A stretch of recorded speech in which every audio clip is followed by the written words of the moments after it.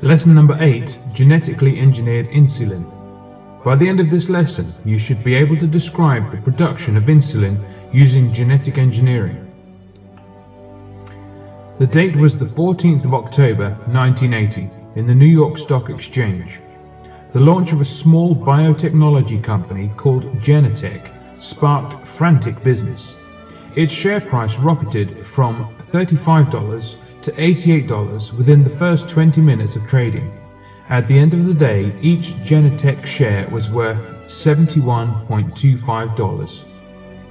Why was there so much interest in a four-year-old Californian company specializing in genetic engineering? Two years previously, scientists at Genentech had isolated the human genes which carry the code that enables particular cells of the pancreas to produce the hormone insulin. They had learned how to transfer the genes from these cells into bacterial cells. The bacterial cells had been genetically engineered to contain human insulin genes. The genes continued to control the production of insulin even though they had been moved from one type of cell, pancreatic cell, to another type of cell, a bacterial cell. When bacterial cells multiply, the genes which have been transferred into them also multiply.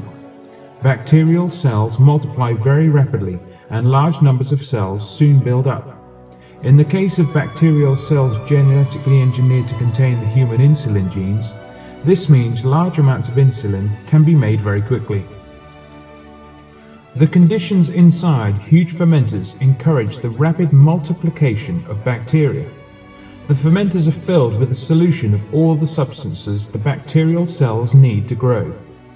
In the case of bacterial cells genetically engineered to produce insulin genes, the insulin the cell makes is released into the solution. It is separated from the solution, purified and packaged, ready for use. Why should we want to transfer insulin genes from the cells of the human pancreas to bacterial cells? Insulin controls the level of sugar in our blood. Some people do not produce enough insulin and suffer from diabetes. Daily injections of insulin control the condition. Before genetic engineering, people suffering from diabetes depended on insulin sourced from cows and pigs. This was unacceptable to vegetarians and people with certain religious beliefs. It was expensive and sometimes caused allergies. All of these problems were overcome when genetically engineered insulin became available to treat diabetes. It is cheap and safe to use because chemically it is the same as insulin our cells produce naturally. By 1982, genetically engineered insulin was in general use. Genentech's achievement opened the way for the large-scale production of medicines using the techniques of genetic engineering. The medicines are reliable, relatively cheap, and in the case of insulin, more suitable for the human patient.